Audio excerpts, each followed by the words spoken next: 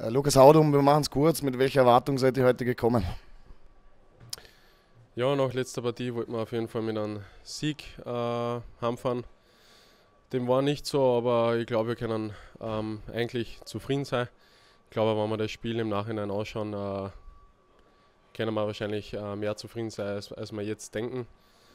Und ja, wir haben äh, die, das Heisel äh, bombardiert. Der Madeleine war unglaublich, hat eine super Partie gespielt.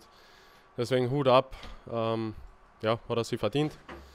Aber ich glaube, äh, ja, wir, wir hätten sie mehr verdient eigentlich und haben uns bemüht, haben auch äh, genug Verkehr von da gehabt zum Teil, aber ja, hat nicht gereicht. Alles Gute fürs nächste. Danke. Danke dir.